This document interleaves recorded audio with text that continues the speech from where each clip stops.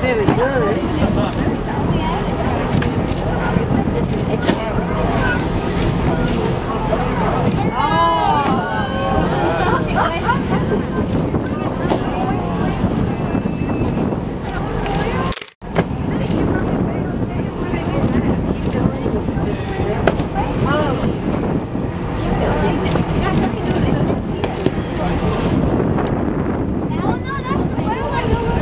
You can see the shadow on the body. You've got a pectoral fins outside, so you can see just how long those things actually are.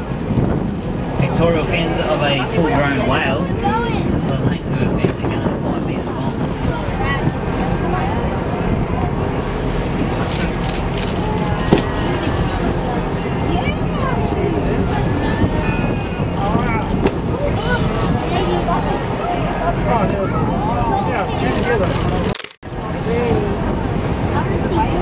Foot moving and stuff.